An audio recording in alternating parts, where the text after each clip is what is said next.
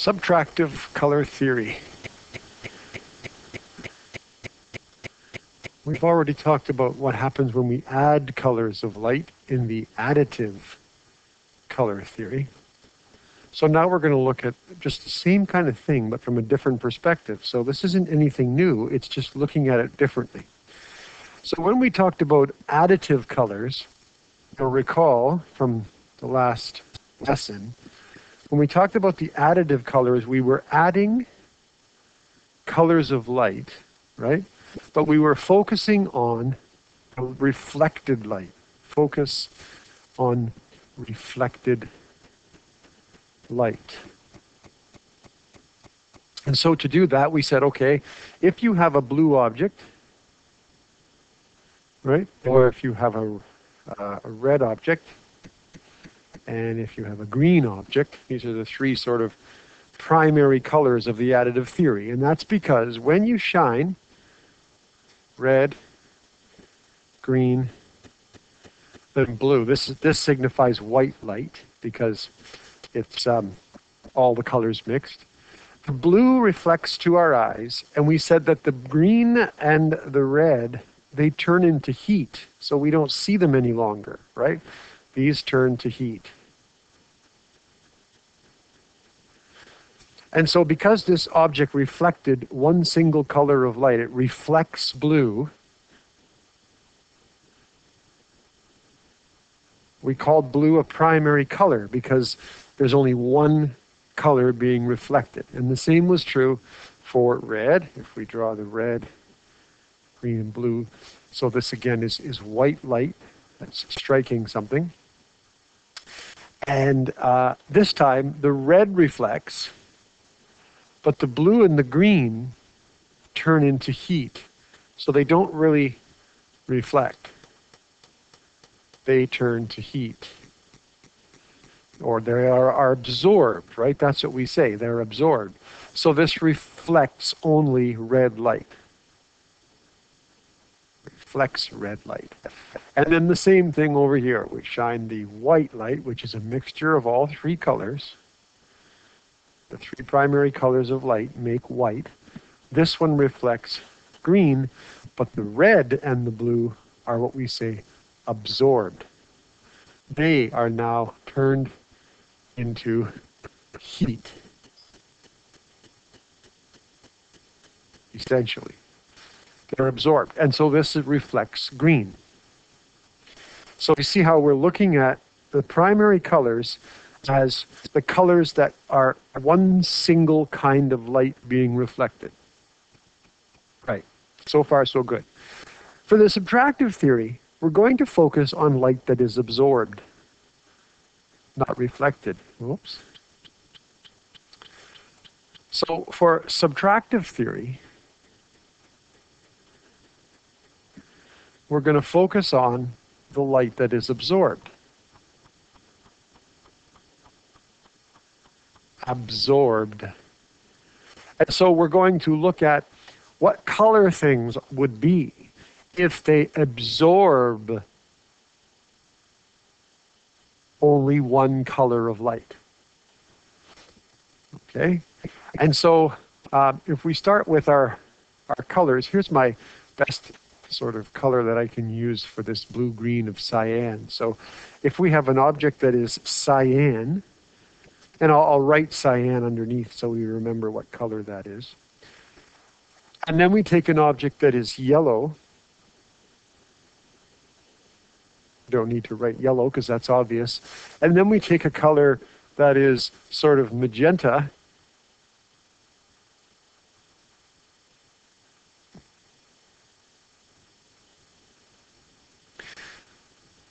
When the same three colors of light shine, red, green, and blue, on here, so red, green, and blue, the blue and the red, sorry, the blue and the green in this case, the blue and the green are reflected and the red is absorbed. So in this case, only one color turns to heat. So all we're doing is turns to heat. And we say that red is absorbed. So we call cyan absorbed. Oops, let me spell that right.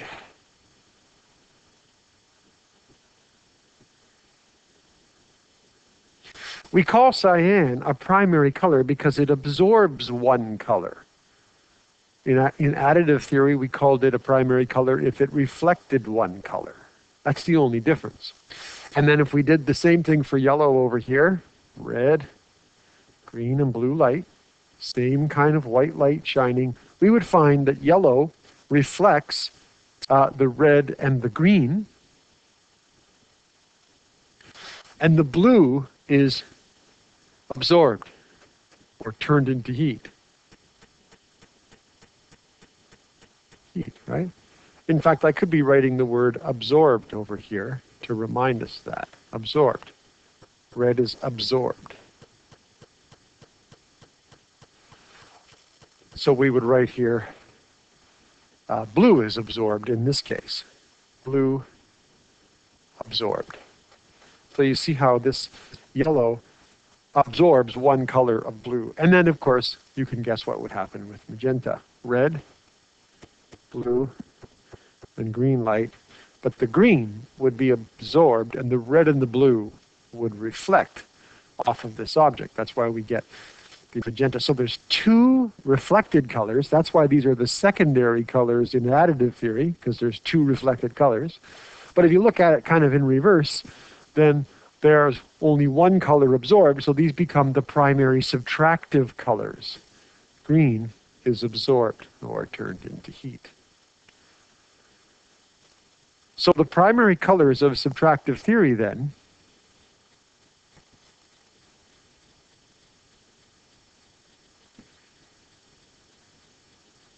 are cyan, yellow, and magenta. Now, I didn't write that up here. I should write that uh, magenta color here um, because we're not sure what color that is, magenta. And then underneath it, we would can write that the green is absorbed.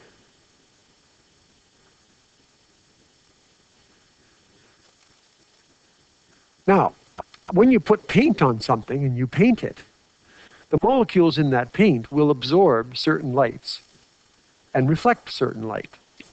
And so when we're dealing with pigments and paints, it's much simpler to think about the subtractive color theory and think about what's being absorbed or subtracted out of the incoming light.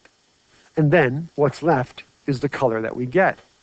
So this is where we start to understand the secret of, you know, grade three paint station, where we were mixing paints and getting different colors. In this case, if you mix red and yellow pigments, red and yellow makes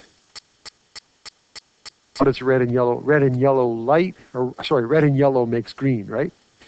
Is that how it works in uh, mixing colors? Let's let's take a, a simpler example.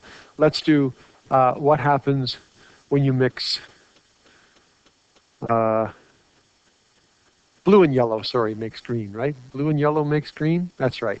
Got it wrong. So let's let's see what happens. Why does blue and yellow make green?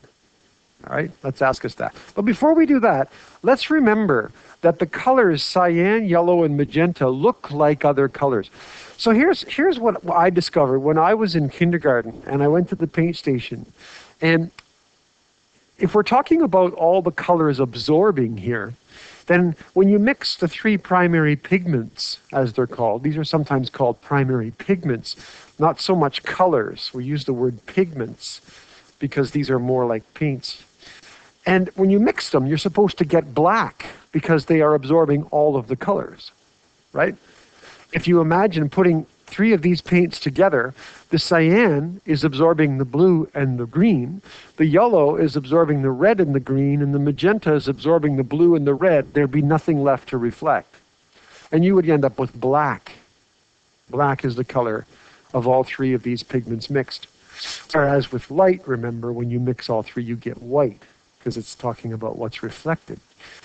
Okay. So, when I mixed my three colors, the primary colors we're taught are red, uh, blue, yellow,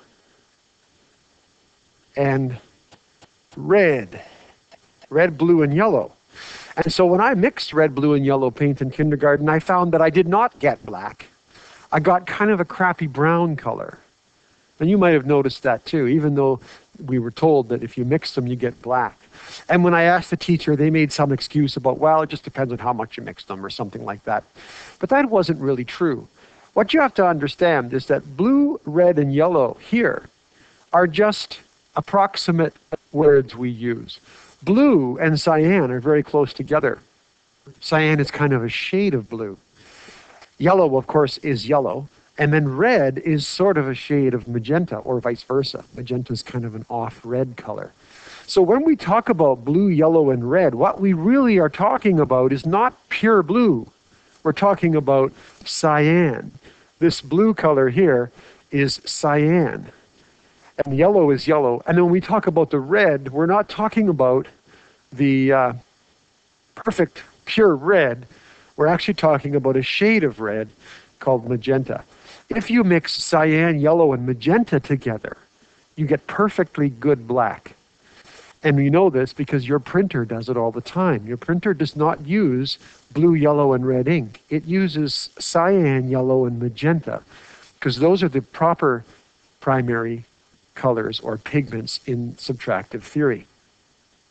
And so we have to remember that for kindergarten, we can tell kids that cyan is blue and we can tell them that magenta is red. But if they try to mix pure red, blue, and yellow, they're only going to get crappy brown because that's not actually the primary colors. So artists who talk about these primary colors right here, they're making a slight, a slight sort of, um, uh, I guess you could say, approximation. They're not actually talking about the purest colors here. They're talking about shades of colors. And so it's it only works perfectly if you use cyan, yellow, and magenta. Because you can see from up here. All right. In fact, we could we could understand um, what would happen then. So when you mix paints, if you mix blue and yellow, you get green. Right? So let's imagine an object. So a blue object, whoops, let's go to blue. Let's look at how this might work. Here's a blue object. And here's a yellow object or yellow paint. Let's say they're paint. Now I'm only going to draw what's what's absorbed. Okay? The blue is absorbing green and it's absorbing red. That's how it's blue. So those are absorbed.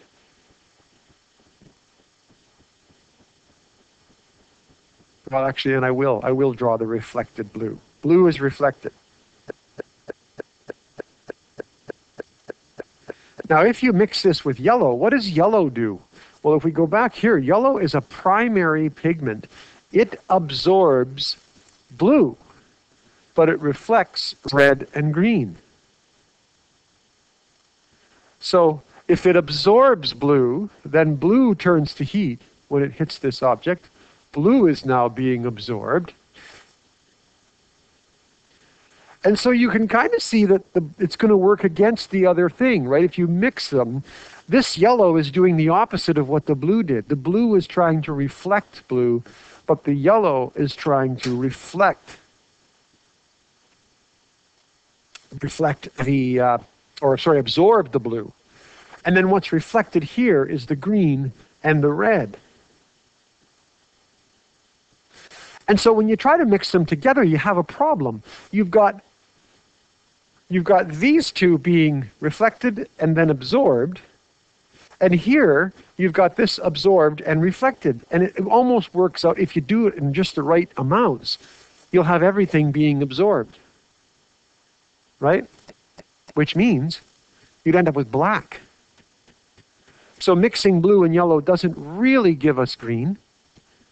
But watch what happens when you mix, instead of blue, if we use cyan the proper pigment color.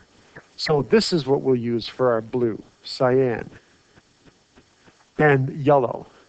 So this is what happens when you really mix blue and yellow. So what does cyan do?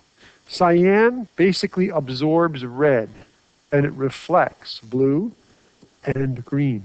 That's why it looks green. All right, yellow absorbs, well, let's put reflects red and it reflects green, but it absorbs blue. Uh-huh, there's the blue.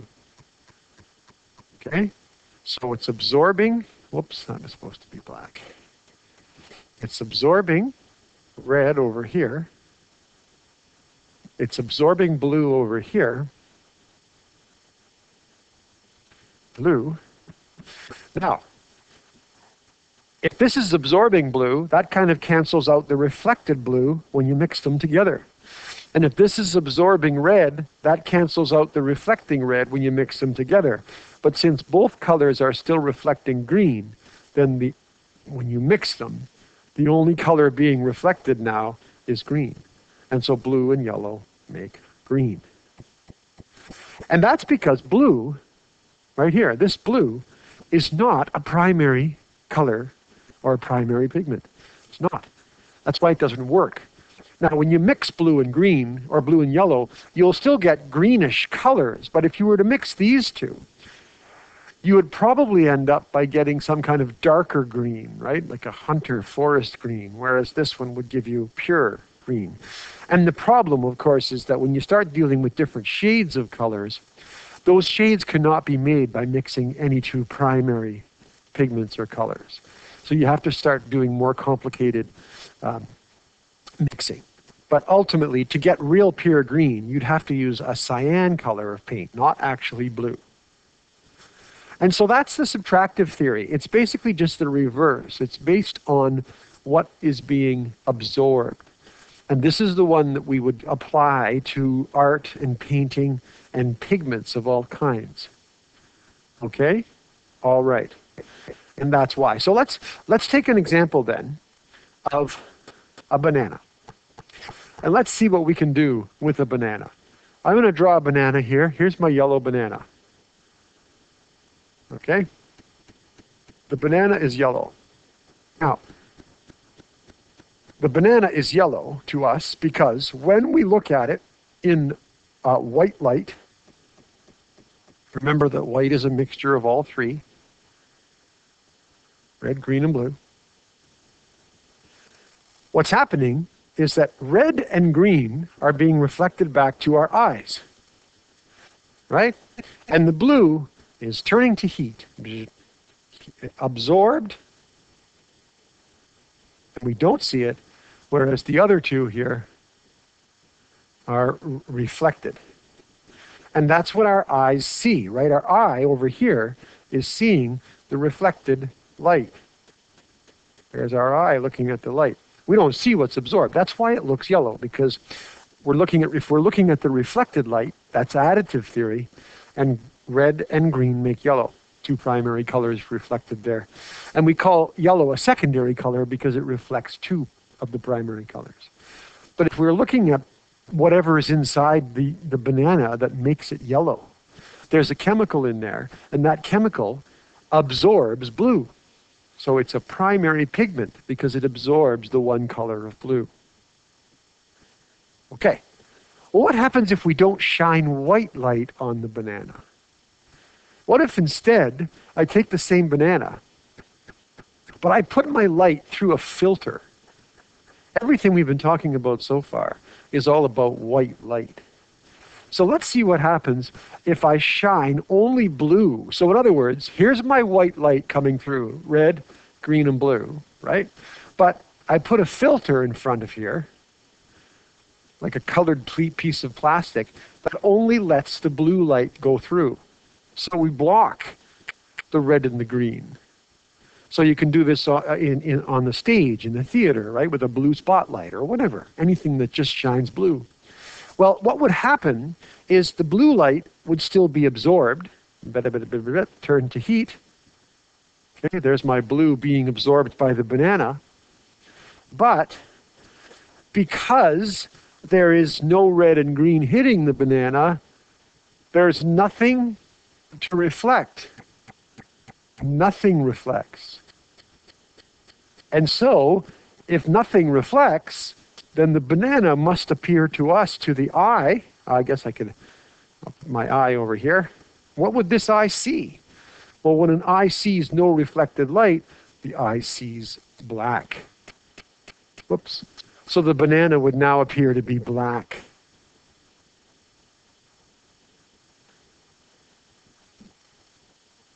Right?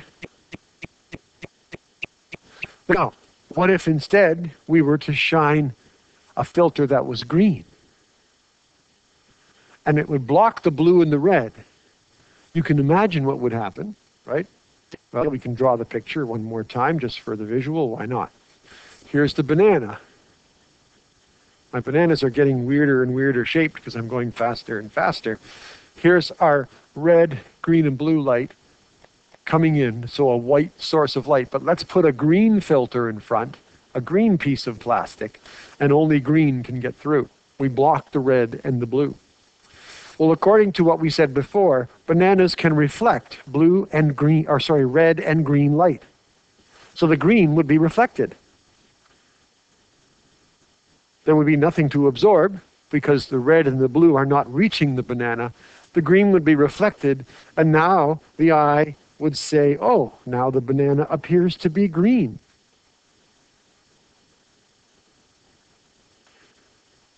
And so we have this banana, which is yellow in white light. It's black when we shine blue light on it, and it's green when we shine green light on it. So it's, it's tricky because you might think, well, it just be it would be whatever color you shine on it, but that's not true. For green it is, because it reflects green. But when you shine blue on it, it turns black because blue is absorbed by the yellow banana. Okay? All right. Now,